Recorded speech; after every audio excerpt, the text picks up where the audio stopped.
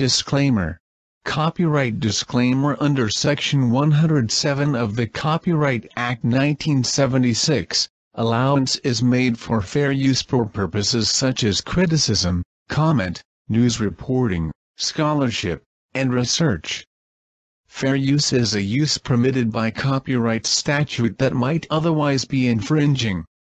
Non-profit, educational or personal use tips the balance in favor of fair use.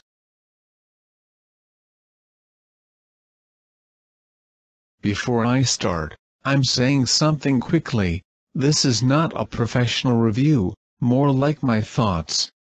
Now, one of the videos of me reviewing an album got blocked for a copyright claim. I had to find a solution and upload it later, now again with another video, hello, and again with album reviews.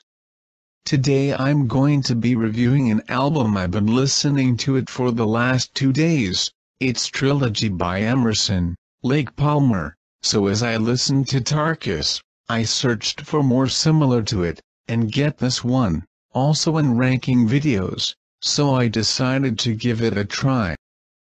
Into the subject, Trilogy is the third studio album by English progressive rock band Emerson, Lake Palmer, released in July 1972, by Island Records. The group had spent most of 1971 touring, which paused in September so they could record a new album at Advision Studios with Eddie Offord resuming his role as an engineer.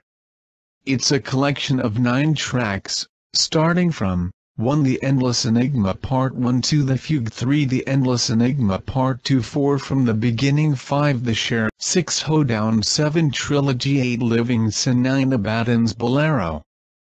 Now, my favorite tracks are 1 The Endless Enigma Part 1, it has a good start, I like the Zerna at the beginning and then going to the synthesizer.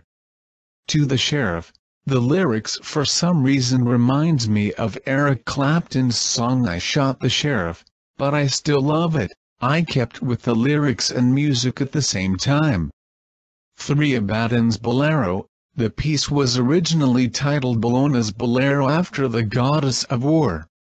A single melody containing multiple modulations within itself is repeated over and over in ever more thickly layered arrangements, starting from a quiet Hammond organ making a flute-like sound over a snare drum, and building up to a wall of sound. For the finale, I rate this album 4.7 out of 5 stars, listening to this album was and still is a great experience. Starting from The Endless Enigma Part 1, to Abaddon's Bolero definitely one of the best progressive rock. Later, I will be reviewing Tarkus, for now, I'll try not to get copyright striked again, enjoy some of the clips from my favorite tracks.